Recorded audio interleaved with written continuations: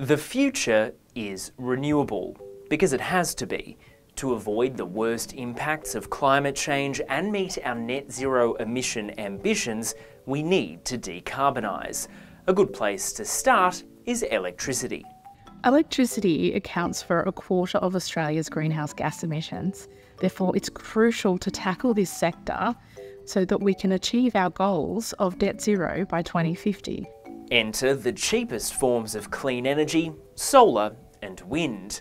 These technologies have become the cornerstone of our decarbonisation strategy. But to get to net zero emissions, we're going to need a lot of them. Data from the International Energy Agency suggests we'll need four times as much wind and solar power by the end of this decade as we had at the start. But no technology lasts forever, and eventually all of these new renewables will become old waste. So what do we do about it?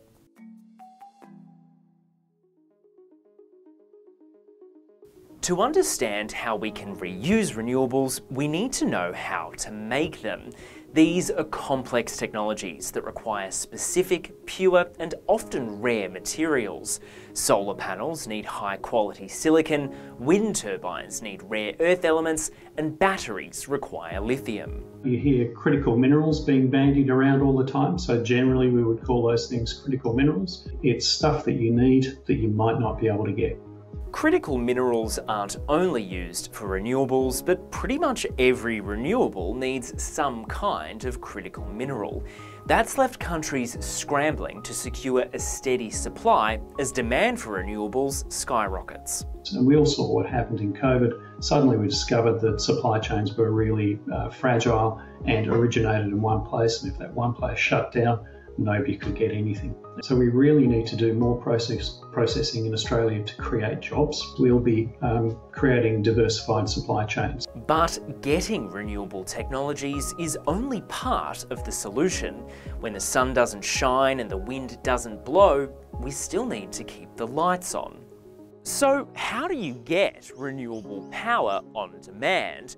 You could turn to hydrogen, thermal, or a range of other energy storage technologies. Or you could turn to the compact piece of energy storage sitting in your front pocket, the lithium ion battery in your smartphone. Without the use of batteries, we have a very great difficulty in being able to generate energy when we don't have sun or when we don't have wind. So batteries are a critical piece of infrastructure in order to make sure we have energy over the durations of time we need it. These tiny batteries work on the same scientific principle as the big ones in electric vehicles and home battery storage. As you've no doubt noticed with your old phone, lithium-ion batteries degrade over time. That leads to a significant e-waste. In Australia alone, battery waste could exceed 136,000 tonnes by the middle of next decade. What happens with that waste is an even bigger problem. Globally, it's estimated just 5% of batteries are recycled, with much of the rest ending up in landfill.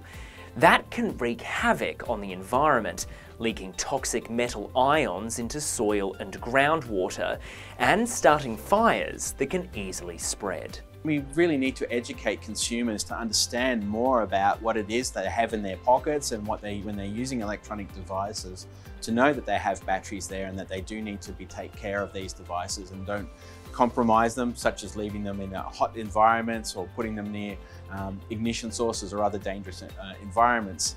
Right now, most battery waste comes from personal devices, and these are relatively easy to recycle, with public collection points at shopping centres and other venues. But it's considerably more difficult to recycle larger batteries, like those in EVs.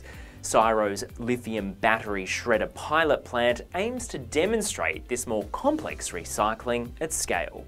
Even if we can improve our battery recycling, there's another problem hanging over our heads, or more accurately, on our roofs solar panels.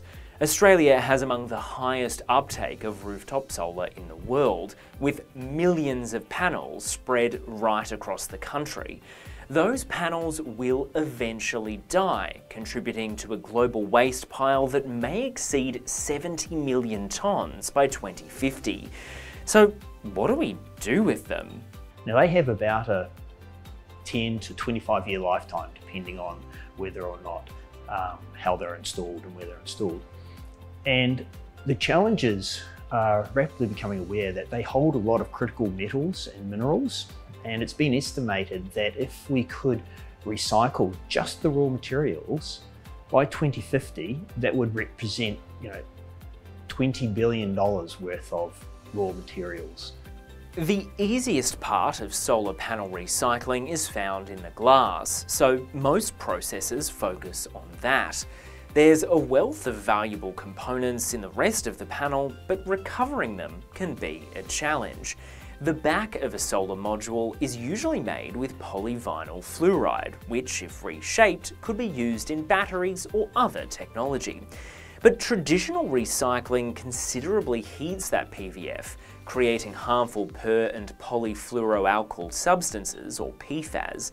Researchers are investigating non-volatile solvents which can reduce these emissions and allow the reuse of solar PVF. What we've done is we've developed methods to separate the different components of the solar panel safely. So for, for example, the fluorinated polymers from the backsheet.